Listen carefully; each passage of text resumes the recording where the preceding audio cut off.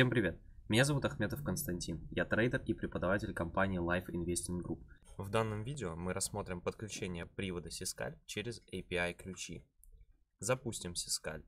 Разберем общие настройки, подключения, горячие клавиши, вкладки Finres, сделки, график.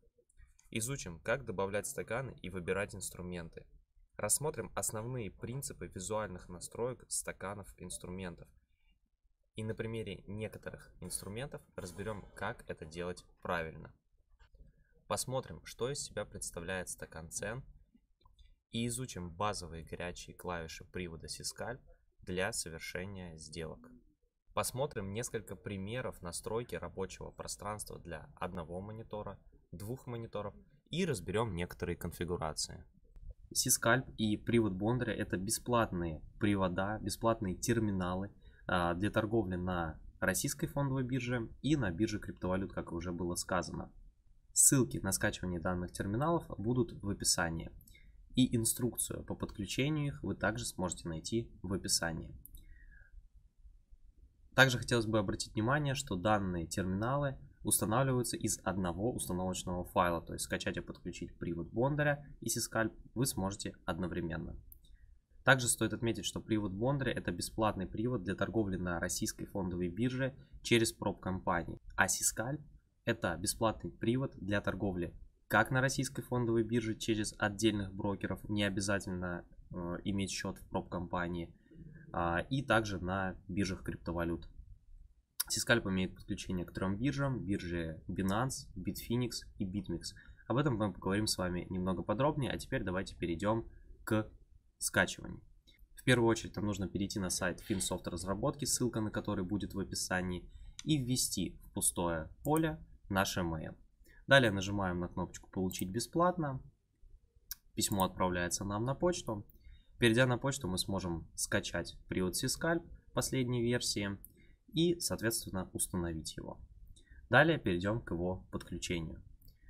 Нам нужно перейти на сайт биржи Binance. А, именно через нее будут сегодня все примеры. А, подключение к бирже BitMEX и Bitfinex полностью идентичны. Сама суть подключения к биржам криптовалют состоит в получении API-ключей, вводе их в необходимые поля и, соответственно, подключении через них. Давайте перейдем к созданию таких ключей.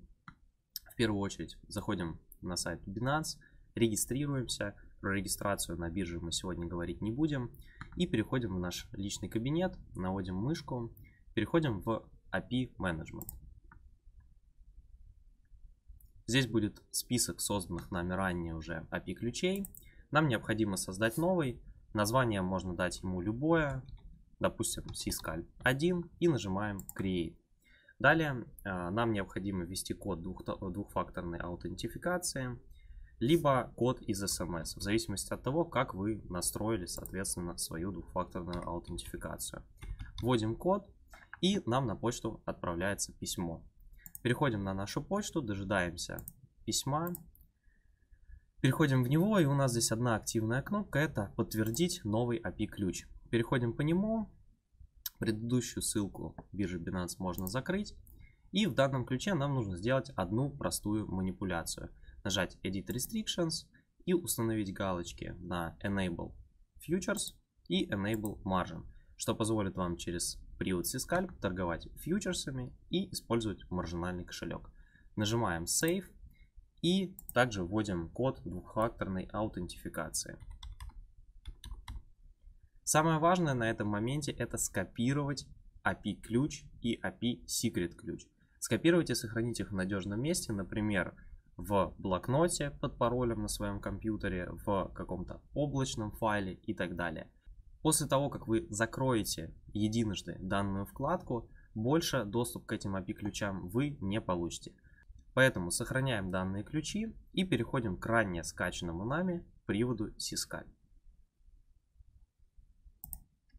Итак, перед нами на экране скачанный пустой привод Syscalp. В первую очередь нам нужно ввести ранее созданные API-ключи для создания подключения. Как я и сказал, все примеры будут сегодня приводиться через биржу Binance, но подключение к биржам, таким как BitMEX, Bitfinex или подключение к российскому рынку через брокеров IT Invest или Finam производится практически идентично. Переходим в настройки подключения биржи Binance и Binance Futures. Вводим API-ключ, это первый верхний ключ, который мы только что с вами создавали. И API Secret ключ, это второй ключ, который мы также с вами создали одновременно с обычным API ключом. Далее, тип кошелька в настройках подключения к Binance мы выставляем Exchange, базовую валюту USD Tether. Тип кошелька в фьючерсах мы изменить не можем, поэтому оставляем как есть. Ставим автоподключение «Да» и сохранять пароль «Да», чтобы не вводить, соответственно, данные постоянно. Также здесь автоподключение «Да» и сохранять пароль «Да». Если все введено правильно, мы нажимаем на «Подключить», и через несколько секунд данные подключения загораются у нас зеленым цветом. Это означает, что подключение произведено правильно и у нас теперь все функционирует. Мы можем перейти к настройке привода Сискаль. В первую очередь перед настройкой рабочего пространства мне бы хотелось немножечко поговорить об общих настройках привода, о настройках стакана инструментов. Немножечко вкратце рассказать про то, что, что из себя представляет стакан. И только потом мы перейдем к нескольким конфигурациям рабочего пространства, которые я для вас настрою, покажу и расскажу, в чем их плюсы и минусы. Также вкратце мы немножечко затронем сегодня с вами привод Бондаря для торговли на российской фондовой бирже и немножечко поговорим и о нем.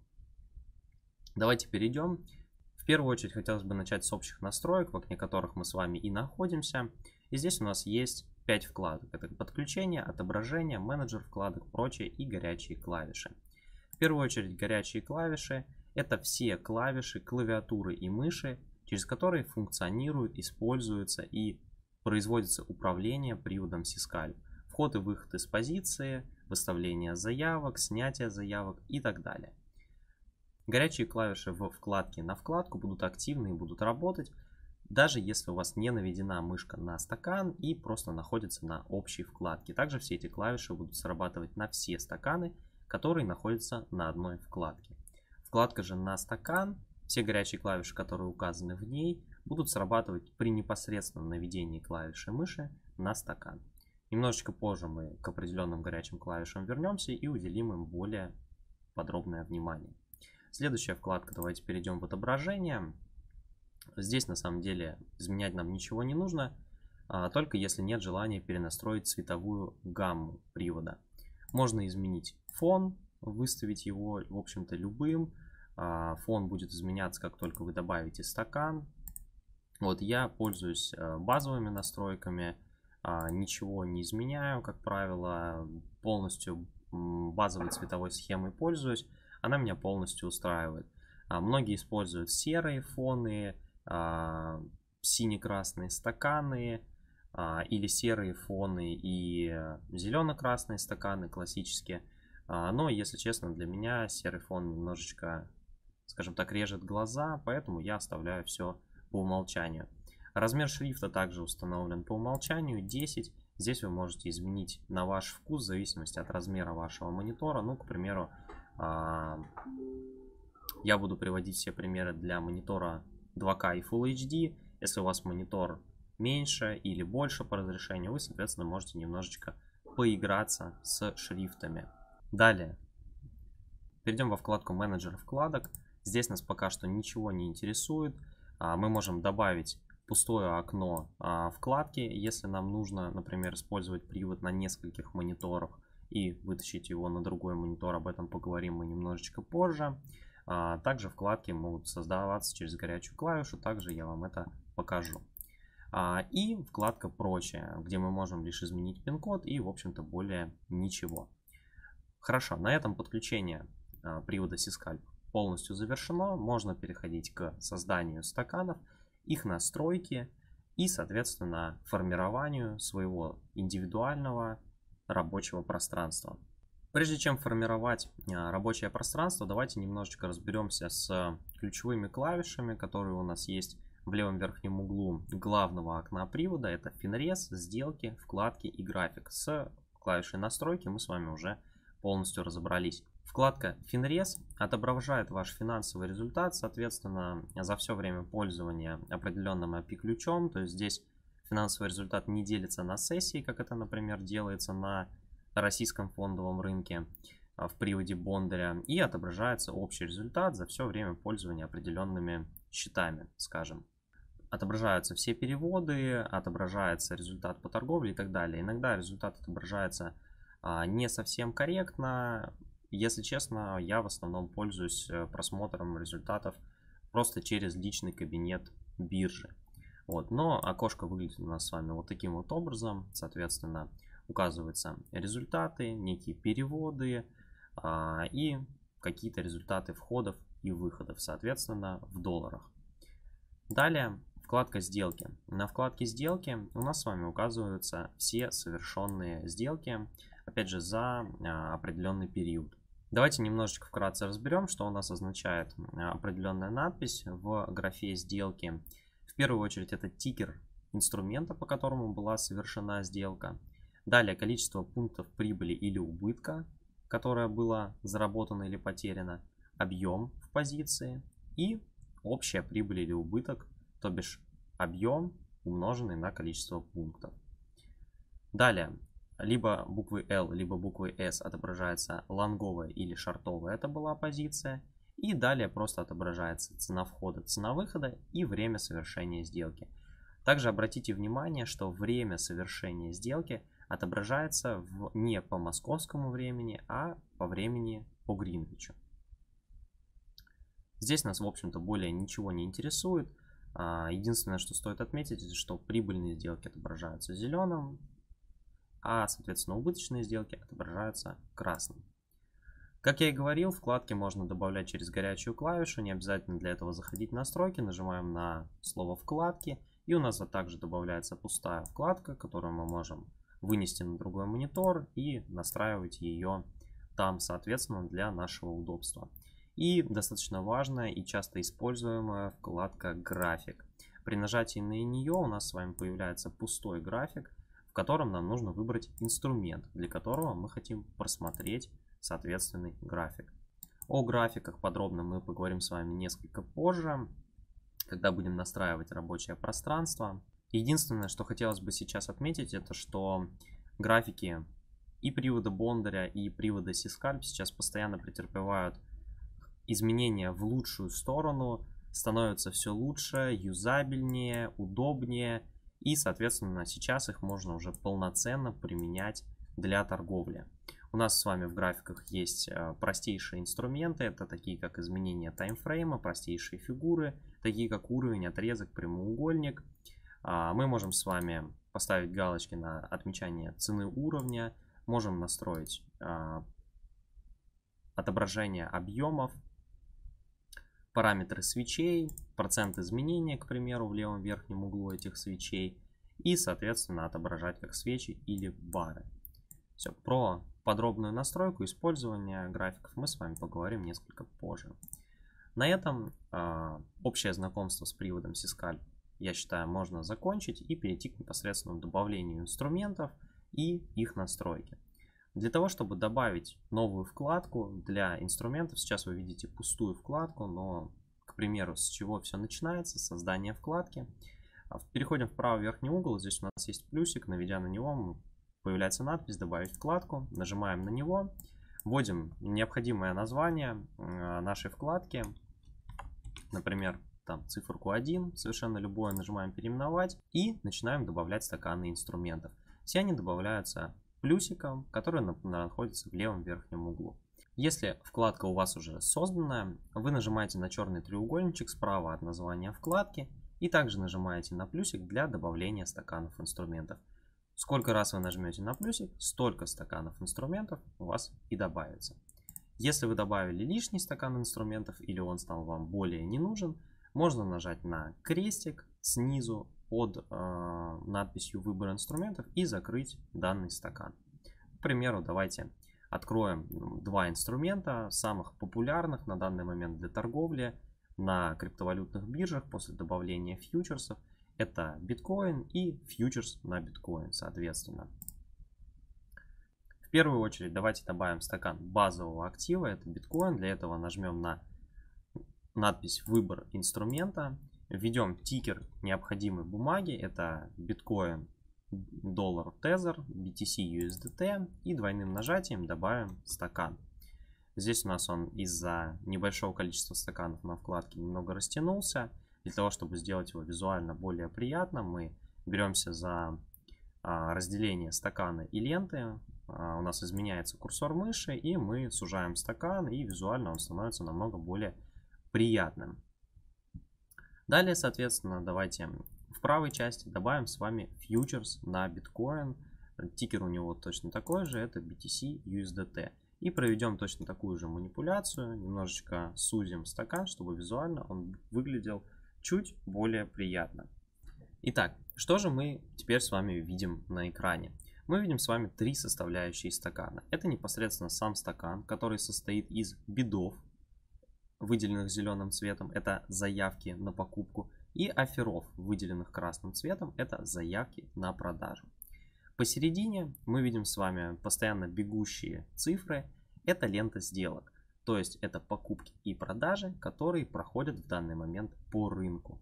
Слева от каждого стакана мы видим с вами кластера. Кластера это объем, который уже прошел по рынку. То есть, условно говоря, это тот же самый график, как если бы вы смотрели свечной график, но только разделенный на объемы, которые прошли по той или иной цене. Теперь, зная эти базовые принципы, давайте перейдем к настройке стакана. Для того, чтобы это сделать, мы нажимаем на шестеренку снизу под названием инструмента. Переходим в настройки инструмента и попадаем а, в вкладки настроек. Здесь у нас с вами также 5 вкладок. Это торговля, стакан, тики, кластеры и общие. И давайте пробежимся по каждой из них.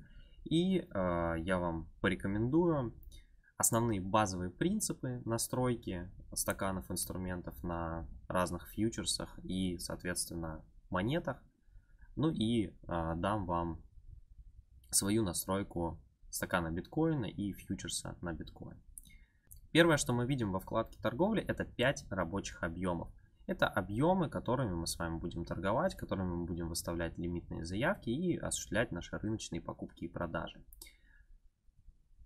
Здесь в стакане биткоина я ничего не настраиваю в этих объемах, так как все сделки произвожу на фьючерсе биткоина. Но также поменять все эти рабочие объемы вы можете здесь в настройках или в левом нижнем углу стакана инструмента. Двойным кликом мыши нажимаем и изменяем на нужный нам объем. Возвращаемся в настройки. Далее, а, вкладка торговли не сильно интересна нам для настроек. А, здесь нас интересует лишь несколько пунктов. Дальность заброса лимитных заявок и дальность заброса по стоп-лосс take profit у нас здесь не интересует, потому что не используется. Стоп-лосс и take profit. Это то, что может заинтересовать некоторых. Это автоматическое выставление стоп-лосса и take профита. Я этим не пользуюсь и не рекомендую пользоваться, потому что значение стоп-лосса и take профита в каждой сделке может разниться и не быть одинаковым. А, точно так же криптовалюты это достаточно волатильный рынок с резкими импульсными хлесткими движениями, на которых автоматическое выставление равного стоп-лосса и тейк-профита во всех сделках может быть просто опасным. Поэтому оставляем по нулям и я этого не настраиваю. Вы можете выставить пункты стоп-лосса и тейк-профита по желанию, которые вам необходимы. Срабатывание стоп-заявок по лучшим ценам оставляем это по умолчанию. Размещение стоп-лосс в приложении, здесь мы ничего изменить не можем. Расчет средней цены от первой сделки оставляем по умолчанию, нас это устраивает. И далее идут два пункта, которые нас более-менее здесь интересуют. Первый это галочка звук при сделке. Я рекомендую вам всем ее использовать, всем ее ставить. А, Во-первых, это сделано для того, чтобы оповестить вас о том, что у вас сработала лимитная заявка или о том, что вы зашли в позицию. Это удобно, когда вы торгуете несколько инструментов, переключаетесь между несколькими вкладками или следите за несколькими мониторами. Можете, можете отвлечься от какой-то, например, своей лимитной заявки, забыть о том, что вы ее выставили. А, и звук при исполнении сделки вам здесь очень будет помогать и будет полезен. Следующее отображение прибыли. По умолчанию она установлена в пунктах. Я вам рекомендую и всем своим ученикам я рекомендую выставлять здесь проценты. А, в моем понимании, если речь идет о, например, российском рынке, то, конечно, пункты это общепринятый э, стандарт меры на российском рынке. Э, и на фьючерсах, и на акциях мы привыкли к пунктам, не к рублям, не к процентам, ни к чему-либо другому, а именно к пунктам. Э, в свою очередь, на рынке криптовалют э, пункты очень сложно рассчитать. Вы не будете знать, э, сколько в пунктах, там, например, у вас стоп-лосс, сколько стоит для вас один пункт и так далее и тому подобное. Это, в общем-то, поддается расчету, но зачем это делать? Намного проще все считать в процентах э, на рынке криптовалют, считать в процентах свой стоп-лосс, считать в процентах свой take-profit и так далее. Если даже вы пользуетесь плечами, то просто умножаете процент движения на плечо, и у вас получается итоговый результат. К примеру, 1% прибыльного движения на том же фьючерсе биткоина, если вы пользуетесь десятым плечом, например, это будет 10% к вашему депозиту, если вы зашли в позицию на all-in, скажем так. Далее переходим на вкладку «Стакан». Это как раз-то самая интересная для настройки вкладка. Намного более интересная, скажем так, более полезная, чем все остальные, про которые мы с вами будем говорить. Здесь происходит именно та самая визуальная настройка стакана, которая помогает каждому трейдеру намного быстрее, намного удобнее ориентироваться в стакане инструмента, за которым он следит и который он торгует. Что нас здесь интересует на этой вкладке? В первую очередь нас интересует вторая строка, это заполнение строки объема при. Здесь мы выставляем, при каком объеме у вас будет полностью заполнена оранжевым строка объема. Ну, к примеру, если мы выставим здесь очень маленькое значение 1, мы видим, что у нас весь стакан полностью заполнен оранжевыми объемами, это лимитные заявки, более, соответственно, одного лота. Более одного лота закрашены, один лот и более закрашены полностью оранжевым, менее одного лота, соответственно, видите, что, например, 0.48 это половина а, оранжевой строки. Для стакана биткоина я рекомендую вам выставлять значение от 30 до 50 это удобное визуальное отображение. В зависимости от ликвидности и волатильности в тот или иной момент времени вы можете изменять это значение. Я люблю, когда чуть больше объема в стакане видно, поэтому выбираю для себя значение 30-50. Также, в принципе, актуальным значением будет 100. Далее, следующие также две строки нам очень интересные для визуального отображение крупных объемов. Это очень помогает, когда вы торгуете активно, внутри дня, занимаетесь скальпингом. Подсветка крупных объемов очень помогает. И именно для этого, в общем-то, привод и нужен, для того, чтобы мы могли быстрее реагировать на определенные рыночные ситуации. А здесь мы выбираем, какой объем будет подсвечиваться желтым и фиолетовым цветом. Желтым будет подсвечиваться а, первый крупный объем, фиолетовым будет подсвечиваться второй крупный объем. Ну, к примеру, выставим здесь 10, и теперь мы видим, что каждый объем более 10 монет а, будет подсвечиваться желтым цветом, как мы видим, например, 10, 13, 20. Рекомендую здесь ставить значение 50. Да? 50 биткоинов в стакане это уже объем, на который можно опереться, посмотреть а, и, возможно, даже совершить от него сделку. Ну и крупный объем а, я рекомендую выставлять 100, более 100 биткоинов – будут подсвечиваться фиолетовым цветом. Как вы видите, это в данный момент на примере 193 и 102 биткоина подсвечены фиолетовым цветом. Далее, высота строки это сжатие, небольшое сжатие стакана, к примеру, по умолчанию оно будет установлено 12, и мы видим достаточно крупные цифры. Вот. А, это не очень удобно, когда стакан глубокий, он растягивается во весь монитор, скажем, а, мы не всегда какие-то значения можем увидеть, Поэтому я рекомендую ставить вам здесь значение 10, 11. Очень много трейдеров торгуют именно на 10. Для меня на 10 уже, если честно, начинают немножечко сливаться цифры, поэтому для себя я выбираю здесь значение 11. Далее множитель промежуточных уровней, множитель основных уровней нас здесь не интересует. Айсберги, так как на фондовой бирже нас здесь тоже не интересуют. Поэтому более мы здесь на этой вкладке, в общем-то, можем ничего не настраивать. Осталось у нас вот здесь, например, одно значение, это автопрокрутка. Автопрокрутка по умолчанию установлена да, и, в общем-то, пускай так и остается. Переходим во вкладку «Тики». Вкладка «Тики» — это настройка той самой ленты сделок, то есть рыночных покупок и продаж, которые проходят у нас в данный момент. Здесь мы можем настроить три значения. Это показывать объем тиков от, толщина линий тиков и складывать тики за период. Первая строка показывать объем тиков. По умолчанию она у нас установлена 0. И при нуле мы будем видеть любой объем, который прошел по рынку.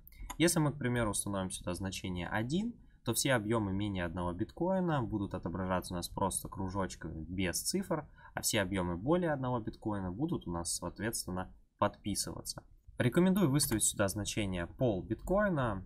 А, я считаю, что это оптимально. Опять же, при повышении волатильности ликвидности это значение можно повысить для, до одного, но, скажем так, кроме визуального отображения, оно, в общем-то, никакого критичного смысла в себе не несет. Далее толщина линий тиков нас, в общем-то, не интересует. Я всегда оставляю его по умолчанию единица.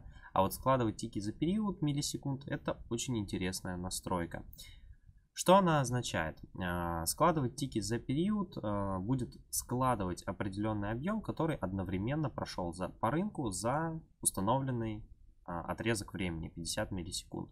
Что это означает? Ну, к примеру, представьте себе стакан, в котором стоит 5 заявок по 200 контрактов в шорт. В сумме это 1000 контрактов. Снизу у нас есть покупатель, и данный покупатель бросает в стакан 1000 контрактов, выкупая все эти объемы по 200 контрактов в шор.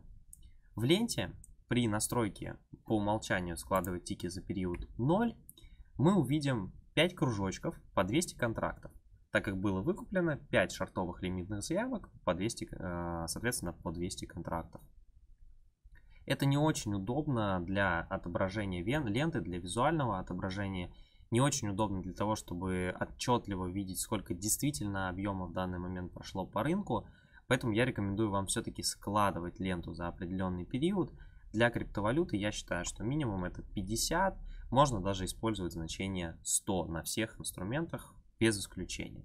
Для, соответственно, фондового рынка, для привода Бондаря а, я использую значение 40-50 для всех инструментов также без исключения и считаю это оптимальным значением. Переходим в раздел кластеры. Кластеры, как я говорил, это левая часть стакана у нас с вами, это отображение объема, который прошел уже по рынку по определенной цене. А, он у нас подкрашивается зеленым или красным, как мы можем видеть.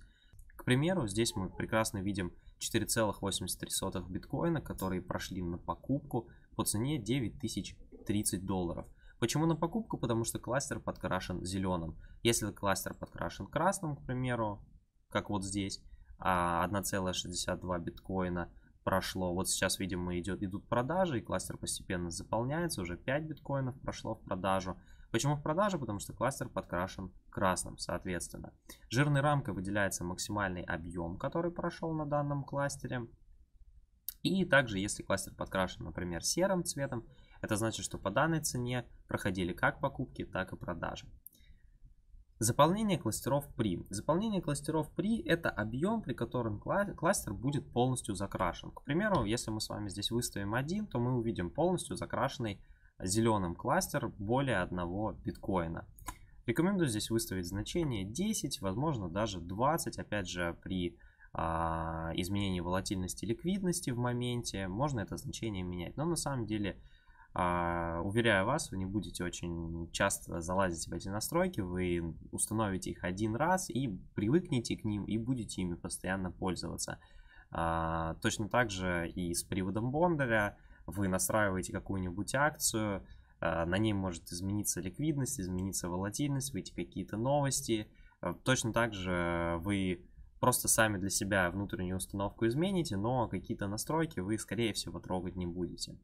Показывать панель кластеров. Здесь мы оставляем «Да». Таймфрейм а, мы можем поменять либо здесь, либо, соответственно, нажав правой кнопкой мыши непосредственно на сами кластеры. Давайте это сделаем. Нажимаем правой кнопкой мыши, и мы можем здесь уже изменить таймфрейм. Если мы нажмем двойным, двойным кликом мыши на кластера, они у нас полностью развернутся. Возвращаемся обратно к настройкам. И здесь у нас с вами есть стиль кластеров. В стиле кластеров мы можем с вами поменять их визуальное отображение. Сумма покупок, как вы сделаны это сейчас, разница покупок и продаж, то есть дельта, и продажи крестик покупки. Слева отображаются продажи, справа отображаются покупки. Я рекомендую вам использовать либо сумму покупок, либо продажи крестик покупки. Это наиболее удобные, наиболее понятные кластера. Какой плюс, например, суммы покупок и продаж? А самый главный их плюс это то, что они занимают мало места, они компактные. И когда вы ставите а, несколько стаканов на одну вкладку, к примеру, там 8 или 10, то вам очень важна компактность, ну и, соответственно, кластера суммы покупок и продаж вам в этом очень помогут. Если же за компактностью вы не гонитесь и у вас небольшое количество стаканов инструментов на экране, то я вам рекомендую использовать кластера продажи, крестик покупки, потому что они действительно более информативны. Мы видим, сколько отдельно покупок и отдельно продаж прошло по той или иной цене. Стиль вертикальных объемов это стиль объемов, который, соответственно, отображается у нас снизу, так называемая дельта. Кластера здесь снизу подкрашиваются также зеленым или красным при изменении дельты, то есть если покупки превышают продажи, они подкрашиваются зеленым, продажи превышают покупки, подкрашиваются красным, а, и, соответственно, указывается общий объем, если у вас указана сумма, либо также продажи крестик покупки, если у вас указана данная настройка. Баланс мы оставляем темный, здесь мы ничего не изменяем, переходим во вкладку общие и здесь единственная настройка, которую мы можем изменить, это количество знаков после запятой. То есть мы можем видеть все вплоть до очень мелких значений, а может наоборот видеть только целые значения, установив 0. Но если речь идет о биткоине, я рекомендую использовать либо 2, либо 4, как это установлено по умолчанию. Давайте теперь быстро пробежимся по настройке фьючерса биткоина. Здесь все то же самое, устанавливаем звук при сделке, галочка, проценты. В стакане. Здесь уже заполнение строки, фьючерс биткоин у нас немножечко поликвиднее, поэтому заполнение строки побольше, мы видим большое количество объемов. А, рекомендую вам 100, либо 200. Первый крупный объем 100, второй крупный объем 200. Вы видите, 100 а, биткоинов здесь подсвечивается желтым, 200 будет подсвечиваться фиолетовым. Высота строки точно так же 11. Множитель уровней 10, 50. Айсберги не настраиваем, автопрокрутка да. Тики точно так же установлены 0.5, 1, 50. Кластеры в сумме 15 или 20 можно установить и два знака после запятой. Также при первом запуске и добавлении стаканов вы можете столкнуться с тем, что ваши стаканы будут выглядеть вот таким вот образом. Да, совершенно ничего не понятно, какие-то значения, все летает, кругляшки. Просто ничего не видно, размазня какая-то получается на экране. Это из-за того, что у нас в данный момент установлен очень маленький шаг цены. Да? Базовый шаг цены на биткоине это 1 цент. А, это очень мало, биткоин очень волатильный, один спред составляет порядка пары долларов, поэтому шаг цены 1 цент нас здесь полностью не устраивает, и в этом нам помогает функция а, увеличения либо уменьшения шага цены. В настройках мы с вами видели в горячих клавишах данную функцию во вкладке на стакан. А, это, соответственно, увеличить шаг цены это плюсик, и уменьшить шаг цены это минус на клавиатуре. Также у нас здесь, здесь есть важное пояснение, что указатель мыши должен находиться над стаканом. Наводим мышку на стакан, нажимаем плюсик и увеличиваем шаг цены. Мы можем увеличить его в 10 раз, соответственно он станет у нас 10 центов. Но даже при этом а, фьючерс биткоина выглядит достаточно глубоким стаканом, скажем так, с достаточно небольшими значениями. А в основном при торговле я используя увеличение шага цены в 100 раз. То есть а, одно значение цены это 1 доллар, да, шаг цены 1 доллар. И то же самое на фьючерсе биткоина. Вот. А, уменьшаю я шаг цены до, например, x10, либо иногда даже до x1, если мне, например, нужно более ювелирно как-то выставить стоп-лосс, как-то где-то что-то подвинуть, какие-то заявки как-то поаккуратнее поставить, тогда можно. Но общее наблюдение за инструментом и в общем и целом 90% входа в позицию осуществляется на стакане с сжатым в 100 раз, соответственно с шагом цены 1 доллар. Итак, мы поговорили с вами о базовых основах привода, его подключения, подключения к бирже, о базовых настройках, о добавлении стаканов, о настройке стаканов инструментов. Теперь давайте поговорим о том, что же из себя представляет стакан каждого инструмента – Поговорим немножечко о базовых горячих клавишах, о том, как зайти в сделку, выйти из нее. И перейдем, наконец, к настройке рабочего пространства, к определенным его конфигурациям. А, итак, слева, снизу, в первую очередь, мы видим наши с вами рабочие объемы. Эти рабочие объемы можно переключить, нажав на них мышкой. а, либо клавишами 1, 2, 3, 4, 5 на клавиатуре. Если у вас куда-либо, например, уехал стакан, то вы можете нажать левую клавишу Shift, стакан и вернуться в центральное положение. Далее, что нам необходимо сделать для того, чтобы выставить заявки на покупку или продажу, или, соответственно, зайти в позицию по рынку. Все покупки осуществляются в приводе и в приводе Бондаря, и в приводе Сискаль левой клавишей мыши. А для того, чтобы выставить лимитные заявки, это заявки на покупку, нам необходимо по зеленой зоне, по покупателям, а, по желаемой цене нажать левой клавишей мыши. Нажимаем левой клавишей мыши по желаемой цене, выбранным объемом, и у нас с вами выставляются, соответственно, лимитные заявки на покупку. Лимитные заявки на продажу выставляются точно так же правой клавишей мыши, но при нажатии на продавцов. Нажимаем на желаемую цену продавцов, и у нас выставляются лимитные заявки на продажу. Для того, чтобы снять одну из заявок, мы можем навести на нее мышкой и нажать колесико мыши, или нажать на крестик справа от объема, соответственно. Нажимаем, заявка снялась. Чтобы снять все лимитные заявки, нам необходимо нажать клавишу пробел на клавиатуре. Нажали, все лимитные заявки сняты. Далее, соответственно, покупка и продажа по рынку. Как я и сказал, все покупки в приводе Бондаря и в Сискальпе осуществляются левой клавишей мыши, все продажи правой клавишей мыши. Поэтому для того, чтобы купить, нам необходимо нажать левой клавишей мыши на лучшую цену продавца, либо в целом просто на продавцов. И у нас с вами откроется позиция лонговая э, по рынку. То есть мы купим лучшую заявку на продажу. Снизу у нас сразу же отобразились три квадратика. Левый квадратик показывает цену нашего входа, центральный квадратик показывает объем. Если этот объем выделен зеленым цветом, значит мы с вами находимся в лонговой позиции. И правый квадратик, соответственно, отображает результат. Мы с вами выбрали отображение результата в процентах. И вот он у нас в процентах и отображается.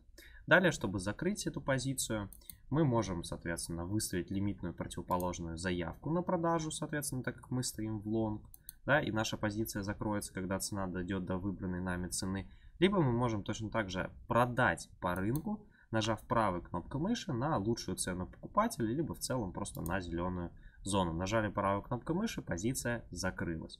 Для того, чтобы открыть шартовую позицию, точно так же нажимаем правой кнопкой мыши на лучшую цену покупателей. Нажали, открылась у нас с вами шартовая позиция. Как видим, у нас написано минус 001 лот. А, и, соответственно, наш а, результат данной сделки. Далее, когда вы находитесь в позиции, вы можете воспользоваться выставлением стоп-лосса и take-профита.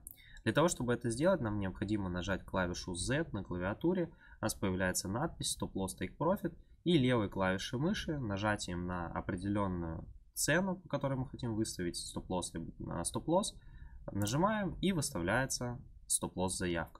Далее, для того, чтобы выставить Take Profit, мы нажимаем английскую клавишу Z точно так же, нажимаем на цену, по которой хотим выставить Take Profit, и выставляется Take Profit. Как только цена дойдет либо до Stop Loss, либо до Take Profit, позиция будет закрыта. Мы можем преждевременно закрыть позицию, например, по рынку. Закрываем позицию, позиция закрылась.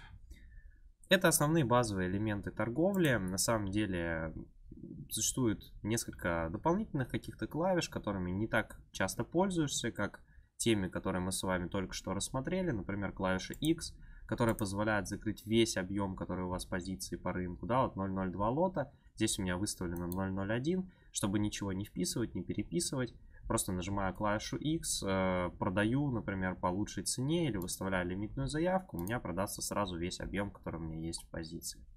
Все, в общем-то, никакими особо дополнительными клавишами мы не пользуемся. Выставление отложенных заявок у нас в приводе Бондаря в приводе Сискальп возможно, но на криптовалюте мы ими пользоваться не можем, так как биржа не дает нам с вами такой возможности. Но на приводе Бондаря мы можем выставлять с вами отложенные заявки через английскую клавишу V. К приводу Бондаря вернемся несколько позже и, соответственно, я покажу это на примере. Теперь давайте немножечко поговорим про инструменты, которые в основном сейчас используются для торговли, и про настройку рабочего пространства под эти инструменты. В качестве примера будем использовать инструменты с биржи Binance и немножечко затронем фондовую биржу и привод Бондаря. В первую очередь необходимо определиться с инструментами, которые вы будете торговать. На данный момент я рекомендую вам выбрать фьючерсы на самые популярные и наиболее ликвидные волатильные монеты, такие как биткоин, биткоин кэш, эфир, эфир классик, лайткоин, EOS, XLM, Ripple и так далее. Фьючерсов не так много, порядка 9 штук, если не ошибаюсь. И э, плюсы фьючерсов неоспоримы. Это и плечи, э, и волатильность. И если раньше эти монеты не столь были интересны для краткосрочной торговли, для спекуляции в силу того, что они двигались по 1, 2, 3, 5 процентов в день, э, при этом можно было торговать неликвидные монеты, какие-то памповые движения и так далее по 20, 30, 50, 100 процентов за день то теперь с плечами любой пробой движения там на полпроцента, на процент, на 2, на 3, на 5, оно становится намного более интереснее и приятнее в качестве финансового результата. Добавлять инструменты мы уже научились, у вас на экране пример настроенного рабочего пространства. И давайте поговорим мы с вами про несколько таких примеров, покажу, расскажу, а, соответственно, для одного монитора, для двух мониторов и если вы торгуете там российский рынок, криптовалюту или одно и другое одновременно. Самый базовый пример, который, наверное, вы можете практически везде найти, а, это, соответственно, стаканы инструментов сверху, графики этих инструментов снизу. В данном случае у нас с вами выбрано несколько инструментов. Это биткоин, Слева это, соответственно, спот биткоина, непосредственно сама монета. Далее справа фьючерс на биткоин. Далее у нас идет биткоин кэш спот, биткоин кэш фьючерс, эфир спот, эфир фьючерс, эфир классик спот, эфир классик фьючерс. Графики фьючерсов нам смотреть с вами практически бессмысленно, потому что они повторяют графики основной монеты. Поэтому снизу мы с вами можем расположить графики непосредственно а, самих монет. Для того, чтобы это сделать, нам не обязательно нажимать на график, выбирать инструмент и так далее. Под каждым инструментом у нас есть значок графика, при нажатии на него он открывается. И далее мы просто в удобном формате располагаем их под, соответственно, стаканами данных инструментов. Все получается достаточно лаконично, достаточно приятно для использования. И, в общем-то, здесь можно разместить как вы видите, неплохо даже будут выглядеть графики, скажем, если мы добавим здесь 4-6 штук. Вполне удобно, вполне читабельно, вполне приятно. Но возникает вопрос, если у вас две вкладки, к примеру, как здесь разместить графики? Вариантов несколько. Первый вариант это совсем уж сузить привод, да, и, соответственно, разместить часть графиков сверху, к примеру, таким вот образом.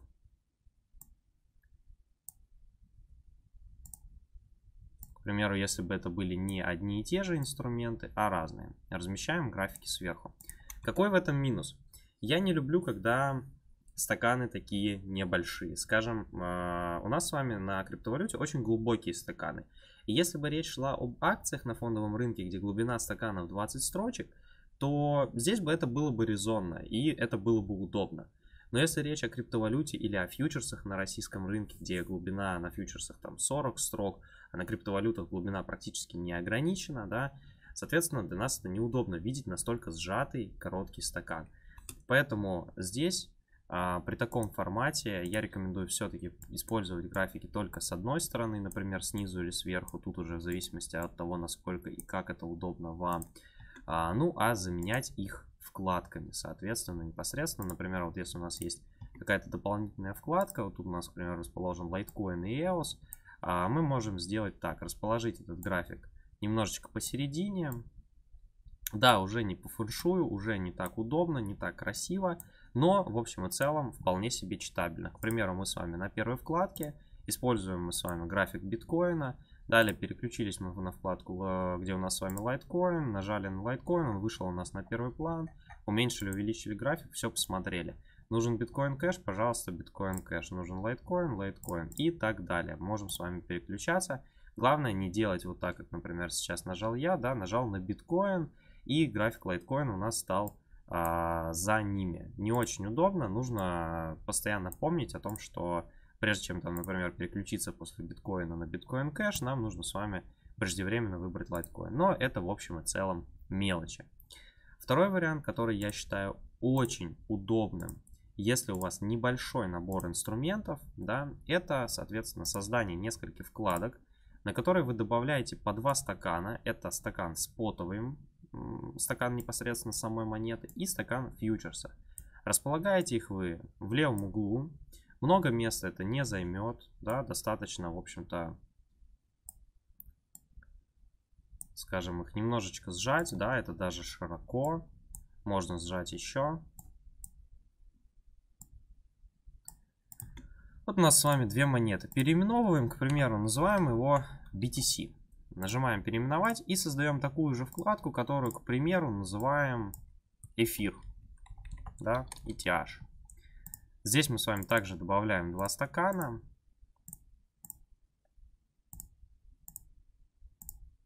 Непосредственно сам стакан эфира и стакан фьючерса на эфир. Выбираем также здесь мы с вами Binance. Здесь у нас непосредственно стаканы монет Binance Futures, стаканы фьючерсов. Выбрали. И в правой свободной зоне мы с вами располагаем все графики. То есть график, например, биткоина непосредственно самого. Далее график эфира, можно ставить даже графики, например, 5-минутные, часовые рядом. Я, если честно, этим не пользуюсь. Э, я просто переключаю таймфрейм. 5 минут 1 час. Реализовано это очень удобно. Делается буквально одним кликом. А, поэтому я не располагаю там 5-минутные часовые графики рядом. Просто пользуюсь переключением таймфреймов. Ну и, соответственно, принцип понятен. да, Вы располагаете все графики а, поочередно, добавляете новые вкладки какие-либо. Например, вот здесь у нас с вами расположился Litecoin, да, EOS у нас здесь будет лишним. Расположился Litecoin. Точно так же добавили его график, расположили. Графики можно сделать здесь и покрупнее, потому что инструментов не такое у нас большое с вами количество. И все свободное пространство вы заполняете графиками. Далее просто при переключении между вкладками вы, соответственно, будете торговать определенный инструмент, а за графиками у вас будет постоянное наблюдение. Какие здесь плюсы? Действительно удобное расположение, постоянное наблюдение за всеми графиками. Какие минусы? Вы не всегда будете видеть определенный стакан инструмента. То есть, например, вы не всегда будете видеть, что сейчас творится на биткоине, пока вы смотрите на эфир, скажем. А лично для меня это важно. Я привык наблюдать за плотностями, за лентой и так далее, поэтому мне важно все время видеть графики. А, это самые лучшие варианты, если у вас один монитор. Есть еще один вариант, который также можно попробовать использовать.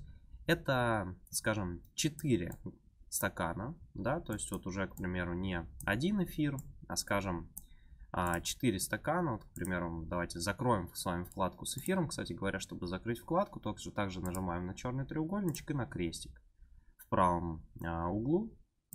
Добавим сюда 2 стакана допустим, тот же самый эфир и фьючерс на эфир.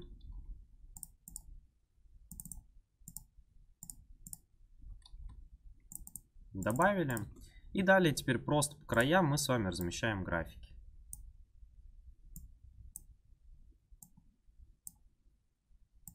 Здесь, к примеру, размещаем график на биткоин.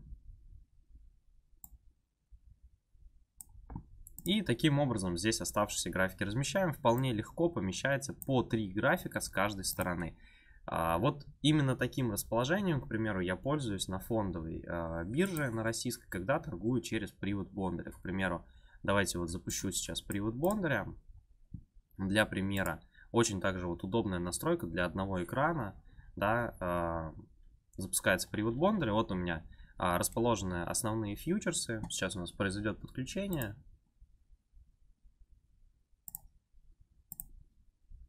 Фьючерсы и валюты. К примеру, фьючерс доллар-рубль, USD том, USD тот, РТС и нефть. Видно фьючерсы посередине, а по краям у меня, соответственно, графики данных фьючерсов. закроем пока что привод Бондаря. А, вот вам три примера наиболее удобной, на мой взгляд, настройки рабочего пространства под один монитор. То есть сверху привод, снизу графики, слева два стакана, все остальное графики, либо посередине 4-5 стаканов – и все остальное по краям справа и слева это графики. В моем понимании это самая удобная для торговли конфигурация. Теперь давайте поговорим о том, если у нас с вами два монитора. В первую очередь я бы хотел вам предложить самую удобную, на мой взгляд, настройку, когда у вас два монитора. Что вы делаете? А, один монитор вы полностью выделяете под стаканы. Для меня это наиболее удобно. Мне нравится наблюдать одновременно за всеми стаканами торгуемых инструментов. Вот, например, у меня расположено тут, скажем, 4 а, инструмента, 8 стаканов. Одновременно все они рядом, одновременно все перед глазами. В то же время другой монитор, соседний, к примеру, там установлен у вас сверху или сбоку, а, вы полностью выделяете под графики. К примеру, если вы торгуете, вот самый частый сетап новичка это ноутбук плюс Full HD монитор. Что вы делаете? На весь Full HD монитор вы растягиваете стаканы, либо используете одну из настроек, которую мы с вами только что рассмотрели, а на мониторе ноутбука вы полностью располагаете графики. Либо графики привода Scalp, либо, соответственно, какие-то сторонние графики, если вы каким-то софтом пользуетесь. Вот. Следующий вариант э, использовать два монитора, это если вы торгуете, например, одновременно фондовый рынок и криптовалюту. На один монитор вы располагаете, по примеру, одной из тех настроек, которые мы с вами рассмотрели, непосредственно привод Бондаря, например, и графики инструментов, которые вы торгуете снизу, сверху, с краю и так далее. А на один монитор вы располагаете криптовалюту на приводе Сискаль точно с такой же настройкой. Вот. Если говорить о э, а, моем, например, рабочем месте, то это 4 монитора. Один монитор это акции на российской фондовой бирже э, и некоторые графики снизу под приводом, как раз-то по тому примеру, который я вам показывал. Второй монитор это полностью фьючерсы с графиками по краям, которые я вам показывал. Третий монитор это криптовалюта, полностью стаканы. И четвертый монитор как раз-то выделен полностью под все графики. На нем расположены графики акций, распределенные по разным вкладкам. На нем расположены графики криптовалют, опять же, также разложенные по разным вкладкам. И, соответственно, таким образом я могу одновременно наблюдать за стаканами всех инструментов, которые меня интересуют. И если мне нужно посмотреть на график того или иного инструмента, либо установить какой-то уровень и так далее, я просто буду использовать сторонний монитор, отделенные от всего. Я считаю, что это наиболее удобное лично для меня. Я к такой настройке привык. И э, в общем и целом вы можете выбрать одну, мы, я вам привел 5 примеров да, настроек, вы можете выбрать одну из этих 5 примеров э, и настроить свое рабочее пространство по э, одной из этих схем. Итак, на этом э, инструкцию по настройке привода Сискальпа, привода Бондаря э, мы с вами будем завершать. Всем хочу сказать большое спасибо, кто досмотрел это видео. А, всем, кому было полезно, все, кто воспользуется определенной настройкой, воспользуется инструкцией по подключению, ставьте лайки, если видео понравилось, если видео вам было полезно. Все ссылки на продукты, на компанию Life Investing Group, а, на сайт для скачивания привода Сискальпа привода Бондаря, все эти ссылки будут в описании под видео. Если у вас есть желание узнать о криптовалютах либо о фондовой бирже поподробнее, вы можете перейти по ссылкам ниже, перейти по ссылкам на нашу компанию Life Investing Group. Если вас интересует обучение по торговле на российской фондовой бирже по торговле акциями, фьючерсами, если вас интересует обучение по торговле на рынке криптовалют, вы можете смело обращаться в нашу компанию. Наши преподаватели, в том числе я, обязательно вас проконсультируют, помогут, помогут выбрать курс и, соответственно, помогут вам легко и с удовольствием пройти сложный путь становления от новичка до профессионала в трейдинге. Если у вас возникнут какие-то вопросы по терминалу, вы можете смело обращаться в техническую поддержку. По любому вопросу вам обязательно помогут. Ну а от себя я хотел бы пожелать вам удачи на вашем пути становления от новичка до профессионального трейдера. С вами был преподаватель компании Life Investing Group Ахметов Константин. Всем счастливо и всем пока.